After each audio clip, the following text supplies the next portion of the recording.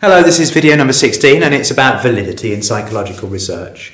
Validity is about whether an observed effect in an experiment or an investigation is a genuine effect or not. So, for example, supposing I did a little experiment and I discovered that psychology students are better at maths than history students. Okay, is that valid? Is it a true thing? Are psychology students really better at maths than history students, or did these psychology students just do better on their maths test on this particular day or not? Um, is the effect that we have observed a true psychological effect or process, um, and can it be generalized to other schools, other countries, other situations, and so on? Validity is the question of whether an observed effect is genuine or not. Okay, first, to understand uh, validity, we need to understand reliability because a test or a measure can only be valid if it is reliable. So have a look at the, the, the bullseye in the middle. This is reliable and valid, getting the same correct answer every time. And obviously, this is the most desirable case. On the left, we have a test which is reliable but not valid. It's getting the same incorrect answer every time. So high reliability is not a guarantee of validity.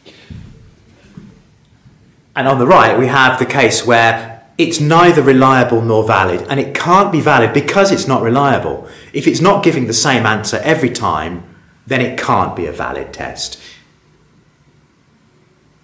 If it's not reliable, then it can't be valid.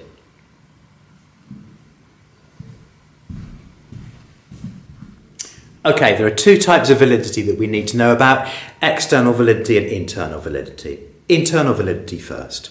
Internal validity is about what goes on in the room, what goes on inside the investigation that determines whether the effect is genuine or not.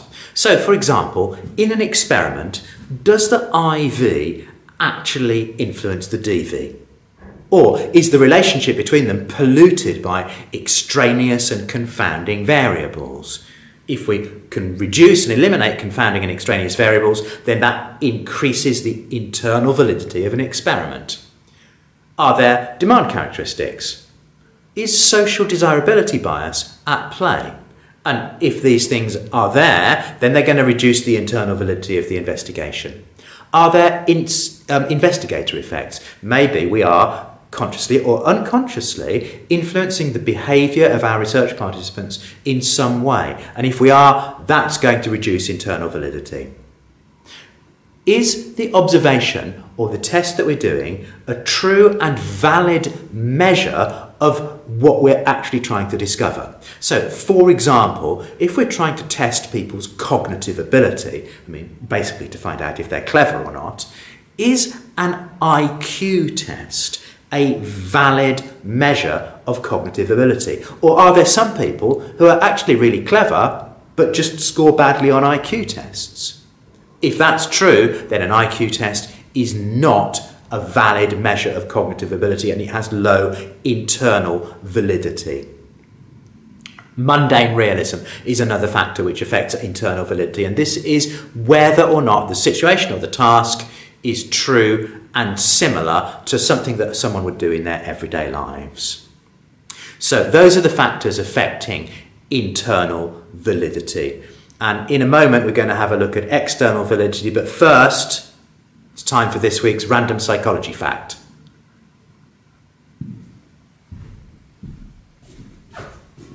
This week's random psychology fact is the person you think of before you sleep is the person that caused them happiness or pain. Well, that was this week's random psychology fact. All right, external validity. External validity is about what goes on outside the room, what goes on outside the investigation, external factors that affect the validity. So, the one that's very often talked about is ecological validity, which is about generalizability to other settings. But it's not just about the environment in which the investigation takes place. So, for example, memory research is often said to have very low ecological validity because you do an experiment in a laboratory where you have to remember a list of trigrams.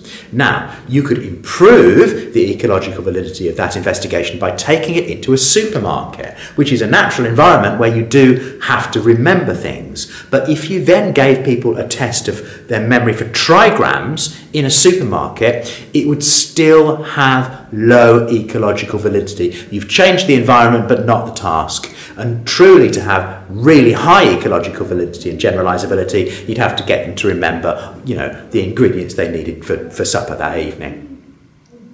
Population validity is another form of external validity. So, for example, in my experiment where I found out that psychology students are better at maths than history students, okay, that might have been true for the people in my experiment, but would it also be true for uh, students in Scotland or Wales or, or, or America or Nicaragua or wherever? Is my sample representative of the wider population or not? That's a question of population validity, which is a form of external validity. And finally, we have temporal validity. Maybe a psychological phenomenon was valid at a certain point in the past, but no longer is true. For example, the Asch experiment. Maybe in the mid 20th century, people were just much more conforming to normative social influence that they are, than they are now. And maybe in the 21st century, people are much more independently minded. And if that's true, then that study of conformity would have low temporal validity. Okay, how do we assess validity? Well, the first way of doing so is frankly a little bit unscientific, and that's called face validity. And face validity is simply an intuitive assessment of whether a test or an investigation looks and feels right. Are the measures in the test or the observation, do they seem to assess what the test sets out to assess or not? In other words, Ainsworth's strange situation has high face validity. Why is that? It's because when we look at the infant interacting with its mother and we measure its separation anxiety and its willingness to explore, etc., then we think that those observational behavioural categories do reflect the child's relationship with the mother. It looks and it feels intuitively right that that's correct. So that's face validity, and I did say it was a bit unscientific.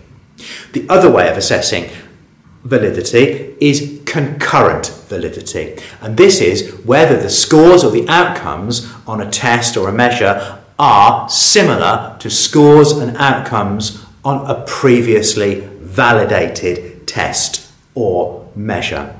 So, for example, if I've got uh, an IQ test and I give that to a number of people and some of them score high and some of them score low, what I can do is give the same people a previously validated IQ test. And if the scores on the two tests are strongly positively correlated, then I can conclude that my current test has high concurrent validity. Okay, how can we improve validity? Well, in, a, in an experiment, there's lots of opportunities to improve validity that we know about already. So, for example, having controls, having standardized procedures, using a single or a double blind procedure, uh, using deception to conceal from our research participants the aims of the investigation, and this might reduce demand characteristics. Perhaps we'd use covert observation, and that might reduce not only demand characteristics but also social desirability bias. All of these measures increase the internal validity of an investigation. Of course, the problem is that these measures, which increase the internal validity of an investigation, can also decrease the ecological validity and the external validity of the investigation. So you can't have it both ways. How about questionnaires? How can we check and improve the validity of a questionnaire? This is done with something called a lie scale. So in our questionnaire, we put some items, some at the beginning and some at the end, which basically ask the same question in different ways. So one question might be, for example, yes or no, I never regret my actions. And then later on in the questionnaire, we have another question which says, yes or no, I sometimes feel bad about things that I've done. And if people answer those two items in a consistent way, then that will make us think that this is a valid questionnaire. And if they answer them inconsistently, then that tells us that the questionnaire is perhaps not valid and we need to look at it again. How about qualitative research? Uh, for example, uh, case studies and interviews. Well, for these, we can check the interpretive validity of the case study or the interview. And what we do here is basically just ask the research participants whether they agree with our interpretation of the outcome or the results of the investigation. And if they agree with us, if they reach the same conclusions of us, if they, if they agree with our conclusions, then we can say that this case study, that this interview has high interpretative validity.